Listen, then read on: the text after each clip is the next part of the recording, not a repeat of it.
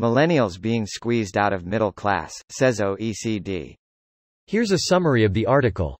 Millennials in advanced economies around the world are being squeezed out of the ranks of the middle class, including in Britain, as pay growth stalls and house prices skyrocket, according to the OECD.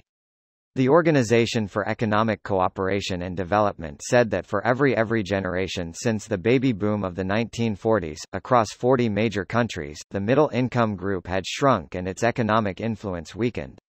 The Paris-based organization, which represents 36 wealthy nations around the world, but also included South Africa, China, Russia and Brazil in its analysis, said there had also been a noticeable decline in the living standards of middle-income families over the past three decades.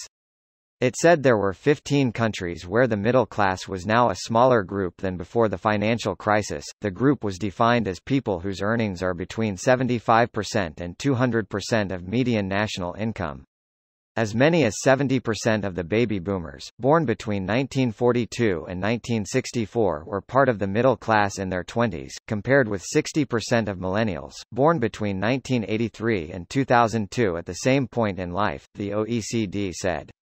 While the situation in Britain has been less pronounced than the OECD average, with 63% of baby boomers, compared to 59% of millennials, the report found that families in the middle income group had been squeezed.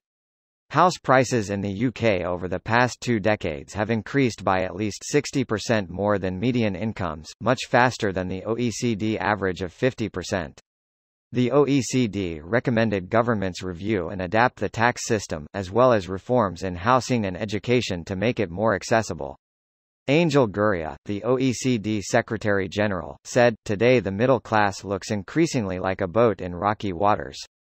Governments must listen to people's concerns and protect and promote middle-class living standards. This will help drive economic inclusive and sustainable growth and create a more cohesive and stable social fabric. This post received a score of 44,573, with an upvote ratio of 89%. Here are the top comments in response to this article. The next recession is going to suck so hard. Yep, and you see all these companies laying off workers like that won't start one. They're trying to get ahead of the game. My corporation 1000%. Huge hiring freeze in 2019 for the multi-billion dollar corp that I work for. We're already overworked, now a hiring freeze. But who's going to alleviate us? Oh don't worry. The moment you collapse from exhaustion, ultimately fail from stress, or just decide to off yourself instead of spending another day in the living hell of this workplace, your replacement will be hired within the hour to take up your slack. Nah, no way. He still has coworkers, they are still there. They can do his work, no need to hire a new person. High house prices, student debt and long-term wage growth lacking behind inflation. Can't imagine why. The economy is up. I'm just waiting on my dividends to pay out on the stocks I can't afford.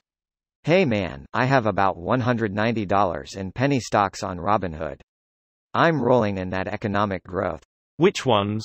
I've been investing my free $4 into penny stocks for the last four months lol.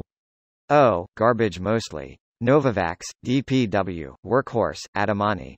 I'm up almost 2% since January, so I'm not quite Warren Buffett. You'd be better off throwing your money on a handful of indexes. M1 Finance lets you buy any amount of a fraction of anything they offer, which is everything on Robinhood and much much more. I know you don't have a lot invested, but your return would be much better. Also, they don't charge any fees. It's like Robinhood on steroids. It's just money to play around with. I've got real money elsewhere. This comment made me lol thank you kind stranger. According to Social Security Online in 2017, 48% of the US population makes less than 30k. 83% makes less than 75k. Wow, I had no idea the percentage was that high. Thanks for sharing. Me either. I feel like social media including Reddit really makes us forget how low the median income actually is. I tell people on Reddit I earned 35k before taxes and they reply I should have went to school.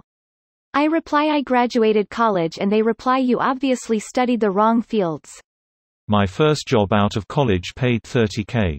I went to law school later so my earning potential increased significantly but yeah, even with a background in statistics I had trouble. In my case though, leaving my hometown also helped. A lot about earning potential is geographic, not education dependent, which is why I think people have wildly different life cost and earning expectations. Otherwise they could be comparing apples to oranges and not realize it. This video was automatically created by Reddit to speech. The article and comments in this video were selected from Reddit according to their upvotes, and any paraphrasing was performed by smmry.com, without any human intervention.